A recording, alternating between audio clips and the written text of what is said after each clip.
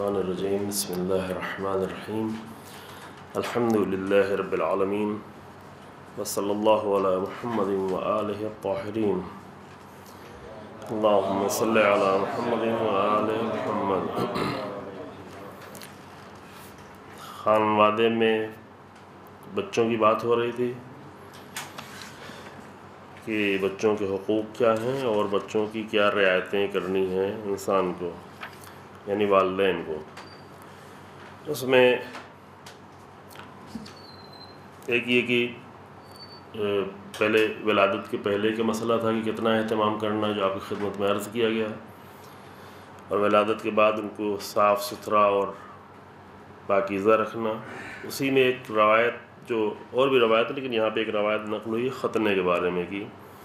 روایت میں یہ ہے کہ ساتویں دن بچے کا ختنہ کیا جائے، جو اس کے صفائی اور پاکیزگی اور صحت اور سلامتی کے لیے انسان کے مفید ہے۔ ابھی یہ ثابت بھی ہے اور اس کی رعایت ادیان الہی میں رہی ہے۔ دوسرے یہ کہ بات کے خطرات سے محفوظ رکھنے کے لیے جس کی طرف کل بھی اشارہ کیا گیا، لیکن روایت نہیں پڑھ سکے تھے کہ فرمایا کہ ان کے کان میں، بچوں کے کان میں ولادت کے بعد اذان کہی جائے۔ یا علی، یہ روایت رسول اللہ صلی اللہ علیہ وآلہ وسلم سے اور مخاطب کر کے امیر المومنین کو فرماتے ہیں، یا علی و اذا ولد لك غلام و جاریہ فعزن فی اذنہ الیمنہ و عقیم فی الیسرا۔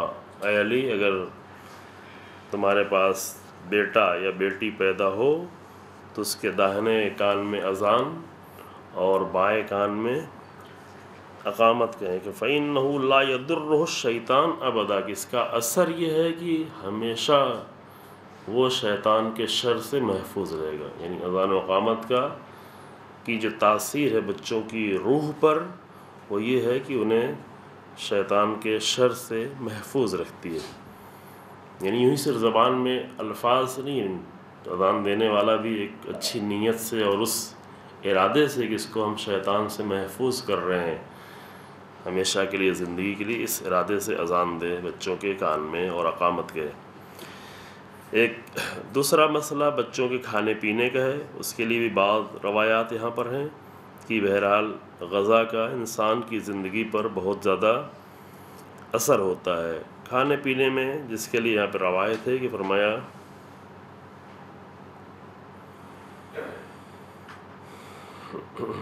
کہ بچوں کے فیڈ کرنے کے سلسلے میں بہت پیاری سی روایت، ایک روایت تھی یہاں پر کہ فرمایا، اذا حملت المرأة كانت بمنزلت الصائم مثلا جو مقام دیا گیا ہے یہ روایت دی رسول اللہ سے ہے کہ آپ نے فرمایا کہ اذا حملت المرأة كانت بمنزلت الصائم القائم المجاہد بنفسه وماله في سبیل اللہ جب ایک خاتون حاملہ ہوتی ہے یعنی پریگننسی کے زمانے میں، تو یہ خاتون اس کا مقام ایک روزے دار، ایک نماز پڑھنے والے نماز گزار اور اس مجاہد کا ہے کہ جو اپنے مال اور اپنی جان سے اللہ کی راہ میں جہاد کرتا ہے۔ یہ پورا دور، پورا جو ہے زمانہ پریگننسی کا، نو مہینے کا، گویا اس حالت میں وہ مسلسل حالت روزہ میں ہے، مسلسل حالت نماز میں ہے اور مسلسل حالت جہاد میں، اللہ کی راہ میں جہاد کرتی ہوئی۔ فیضا وضعت کان اللہ میں الجر مالا یدری احدن اور جب وہ بچے کو جنم دیتی ہے، تو اس جنم دینے کے وقت میں اس کے لیے جو اجر ہے، جس کے بارے میں کسی کو علم ہی نہیں ہے۔ مالا یعلم احدن رسول اللہ فرماتے ہیں، اس کا جو اجر قرار دیا جاتا ہے ایک نئے انسان کو وجود میں لانے کا اور نسل انسانی کو آگے بڑھانے کا اور ایک انسان کو جنم دینے کا تو اس کے لیے وہ اجر ہے کہ ما لا یدری احد ان کی جس کو کوئی سمجھ ہی نہیں سکتا، درک ہی نہیں کر سکتا۔ وہ اس کی عظمت کی وجہ سے فعید ارضعت کان لہا بکل مستن کا عدل عتق محرر من ولد اسماعیل اور جب یہ ماں اپنے بچے کو دودھ پلاتی ہے، تو ہر بار فیٹ کرانا برابر ہوتا ہے نسل اسماعیل میں سے کسی ایک غلام کو آزاد کرانے کے۔ جناب اسماعیل کی نسل میں اگر کوئی مثلا خدا نخواستہ غلام ہو گیا ہو، تو اس کے آزاد کرانے کے برابر ہے ہر مرتبہ بچے کو فیڈ کرانا، بچے کو دودھ پلانا، ماں کا۔ فعیدہ فرغت من رضائه ضرب ملک علی جنبها یہ جنبیہا دونوں لفظ آیا ہے، وقال استانف العمل، فقط غفر لکا اور جب وہ دودھ پلا لیتی ہے تو فرشتہ اس کے کان میں یہ کہتا ہے کہ اب تم اپنے عمل کا نئے سرے سے آغاز کرو، چونکہ ابھی تک کے جتنے تمہارے گناہ تھے سب معاف کر دیے گئے۔ اب تم اپنا نئے سرے سے اپنے عمل کا یعنی یہ مواقع اللہ فراہم کرتا ہے، انسان کو مردوں کے لیے بھی فراہم کرتا ہے۔ بعض ایسے اوقات آتے ہیں، بعض ایسے اعمال آتے ہیں کہ اسے کہا جاتا ہے کہ اب تمہارا پچھلا جو کچھ تھا وہ ختم ہو گیا۔ اب یہاں سے اب تم نئی زندگی شروع کرو، نئے سرے سے اپنے عمل کو انجام دو۔ جیسے حج کے لیے ہے، یا بعض جیسے زیارات وغیرہ کے لیے، جس میں حج کا ثواب ہے، اس کا مطلب یہی کہ انسان اس طرح پاک ہو جاتا ہے۔ یہ یہی جیسے شب قدر ہے، یہی ماہ رمضان کے بعد وقت انسان ایسی حالت میں پہنچ جاتا ہے اور ایسی حالت اس کے اندر پیدا ہوتی ہے کہ فرشتے یہ آواز دیتے ہیں کہ بس پچھلا سب ختم ہو گیا، سارے گناہ معاف ہو گئے یعنی توبہ کی ایسی حالت پہنچتا ہے۔ پھر کہتا ہے کہ اب تم اب سے نئے سرے سے اپنے اعمال کو سنبھالو، بچاؤ اور انجام دو۔ یہ ہو گئی بات اس کو کھانا یعنی دودھ پلانے کی۔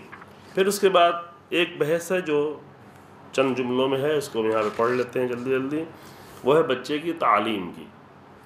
تعلیم جو ہے وہ چند مرحلے میں ہے اور تین حصے کیے ہیں تعلیم کے۔ بچے کو چند موضوع کی تعلیم جو ہے وہ لازم ہے۔ سب سے پہلے یہ کہ دینی معارف۔ دین کی شناخت، دین میں عقائد، اخلاق قرآن کی تعلیم، احکام الہی کی تعلیم، عبادات کی تعلیم، یہ ساری تعلیمات وہ ہیں کہ جو ایک بچے کے لیے لازم ہے کہ اسے بتائیں۔ اگر یہ کام نہیں کیا گیا ہے تو گویا والدین نے اپنے بچوں کا حق ادا نہیں کیا ہے۔ اس میں سب سے پہلے دوسرے جو ہے وہ ادب اور مہارات یعنی بچے کو ادب سکھانا، ایک زندگی، ایک اچھی خوبصورت زندگی اور مہارتیں اسکلس یعنی بچوں کو کچھ ایسے اسکلس جو اس کے لیے اجتماعی اسکلس سماجی ضروری ہیں۔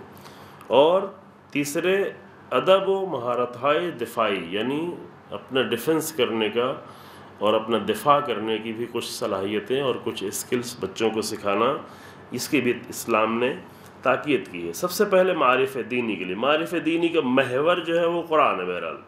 جتنے بھی دین کے معارف اور جتنے بھی دین کے علوم ہیں، ان سب کا مرکز اور محور وہ قرآن ہے۔ لہذا قرآن کے لیے فرمایا کہ من اللہ من علمہ القرآن فقط دیا بالابوین فیقسیان حلطین یدیو من نورہما وجوہ اہل الجنہ۔ کہ جو اپنے بچے کو قرآن کی تعلیم دیتا یہ کل عرض کیا گیا کہ تعلیم سے مراد قراض سکھانا نہیں ہے۔ یعنی جس کے پاس قرآن کا علم ہو۔ جو اپنے بچوں کو قرآن کا علم دیتا ہے، تعلیم دیتا ہے، روز قیامت ان کے والدین کو اس طرح بلایا جاتا ہے، فرشتے اللہ کی طرف سے آواز ہوتی ہے، فرشتے ان کو لے کے چلتے ہیں اس طرح سے، کہ ان کے جسم پر ایسا لباس پہنا جاتا ہے کہ جس سے ایسی روشنی پھوٹتی ہے جس سے تمام اہل جنت کے چہرے نورانی ہو جاتے ہیں۔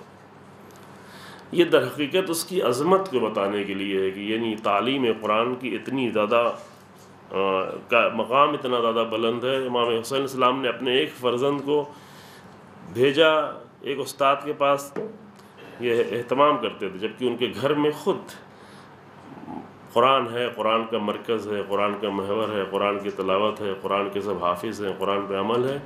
اور جب اس نے پہلی مرتبہ پڑھا بسم اللہ الرحمن الرحیم سر حمد کی کو پڑھایا تو اتنا زیادہ انعام کے طور پر دیا کہ وہ پریشان ہو گیا حیرت میں کہ کیا میں نے اتنا بڑا کام کیا کہ اتنا زیادہ انعام؟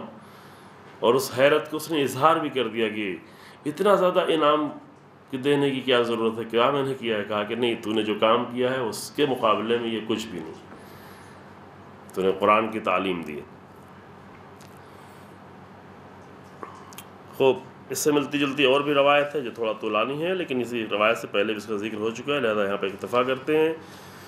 دوسرے یہ کہ اگر دینی تعلیمات بچے کو نہیں دی گئی ہے، تو اس کے لیے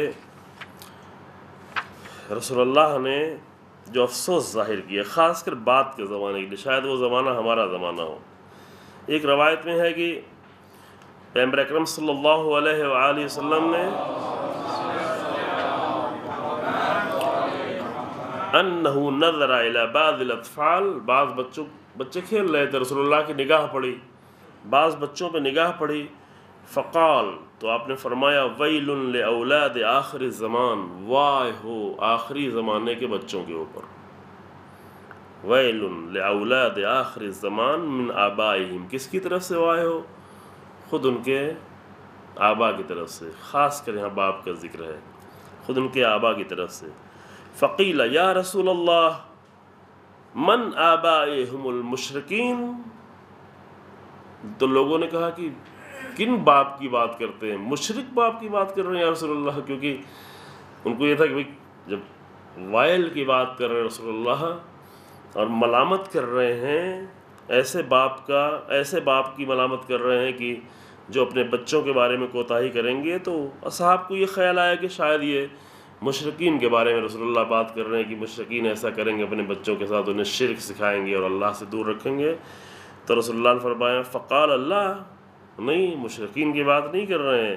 من آبا المؤمنین، بلکہ مومن آبا کی بات کر رہے ہیں۔ واہ ہو ان بچوں پر جو اپنے مومن باپ کے ذریعے سے کوتاہی کے شکار رہیں گے۔ لا یعلمونہم شیئم من الفرائض، وہ باپ، وہ مومن باپ جو اپنے بچے کو فرائض کی تعلیم دینا پسند نہیں کریں گے۔ یعنی دین میں کیا واجب ہے، کیا حرام ہے، کیا ضرورت ہے، کیا کرنا ہے، کیا نہیں کرنا ہے، اس کی تعلیم نہیں دیں گے۔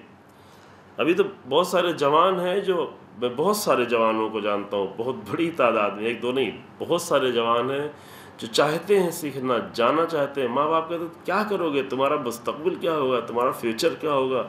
تم کماؤ گے کیسے؟ کیا ہوگا؟ بچہ دین سیکھنا چاہتا ہے یا اور تعلیمات چاہتا ہے، تو فرمایا کہ اللہ یعلمونہم شیئم الفرائض ویزا تعلموا اولادہم منعوہم اور اگر بچے خود چاہیں سیکھنے کے لیے تو منع کرتے ہیں، روکتے ہیں، ان کے لیے رکاوٹ بنتے ہیں۔ وَرَضُوا عَنْهُمْ بِعَرَضٍ يَسِيرٍ مِنَ الدُّنْيَا اور دنیا کی چھوٹی سی پوجی چند پیسے کے اوپر راضی ہو جاتے ہیں۔ یہ کما کے لا رہا ہے تنخواہیں لا رہا ہے۔ پڑھ کے کیا کرے؟ گا ہاں؟ فَأَنَا مِنْهُمْ بَرِيٌّ وَهُمْ مِنِّي بُرْعَا۔ میں ان سے بیزار ہوں، وہ مجھ سے بھی بیزار ہیں۔ ٹھیک ہے ممکن ہے میرا نام لے، لیکن حقیقت میں وہ جب میری تعلیمات سے بیزار ہیں، تو گویا مجھ سے بیزار ہیں۔ چونکہ رسول اللہ تو اپنی ذات کو نہیں پہچانا جائے مجھے یاد کیا جائے، میرے کلمے پڑھے جائیں اور مجھے اوپر سلوات پڑھی جائے رسول اللہ رسول اللہ، اگر توجہ دلانا چاہتے ہیں، مجھے یاد کیا جائے، کیوں یاد کیا جائے؟ کیونکہ میرے پاس وہ الہی تعلیمات ہے جس کی بنیاد پہ مجھے یاد کیا ورنہ میری ذات اور مجھے، میرا نام لیا جائے، یہ تو اہم نہیں، اہمیت نہیں رکھتا۔ رسول اللہ کے نزدیک، ہمارے نزدیک بہت زیادہ اہمیت رکھتا ہے۔ اور آخری چیز جس کی تعلیم دینا ہے، وہ ہے جی ہاں وہ ہے یہی تعلیم دفاعی اور اجتماعی مہارتوں کی تعلیم۔ بعض روایات اور بعد میں آئیں گی یا آخری روایت پڑھتے ہیں کہ بچوں میں، کہ اشارہ پہلے ہو بھی چکا ہے۔ ادب کی اور دیگر چیزوں کی رعایت، فرمایا کہ علم علم اولادکم السیاح والرمایا کل بھی اشارہ کیا تھا کہ اپنے بچوں کو سکھاؤ۔ اپنے بچوں کو سیاح نہیں سباحہ اپنے بچوں کو تیراکی سکھاؤ۔ یعنی سوئمنگ، یہ متعدد روایتیں ہیں کہ اپنے بچے کو سوئمنگ سکھاؤ۔ ابھی بہت سارے لوگ بڑے ہو چکے ہوتے ہیں، وہ بھی نہیں سیکھے ہوتے ہیں، چونکہ ان کو بچپن میں نہیں سکھایا گیا۔ اب ڈرتے ہیں۔ سیکھنے سے بھی ڈرتے ہیں۔ ورمایہ ورمایہ اور تیر اندازی سکھاؤ۔ تیر اندازی یعنی اس زمانے کے لیے تیر اندازی آج کے اعتبار سے تیر اندازی کی جگہ پہ جو ہو، وہ جاننا چاہیے۔ جوانوں کو، بچوں کو تیر اندازی نشانے بازی، آج کی جو نشانے ہیں، اس کو سیکھنا چاہیے۔ سیکھنے کے مواقع فراہم ہو تو حتماً جو ہے انسان سیکھے۔ اور فرمایا اکرم اولاد ہوں خوب یہ اس کے بعد ایک دوسری روایت کا سلسلہ ہے کہ اپنے بچوں سے کس طرح ان کا اکرام کیا جائے، کس طرح محبت کی جائے، اور اگر نہ کیا جائے تو کیا اس کا نتیجہ ہوتا ہے؟ اور دیگر روایات کی جو انشاءاللہ کل آپ کی خدمت میں پیش کرتے ہیں۔ الحمد للہ رب العالمین و صلی اللہ علیہ محمد و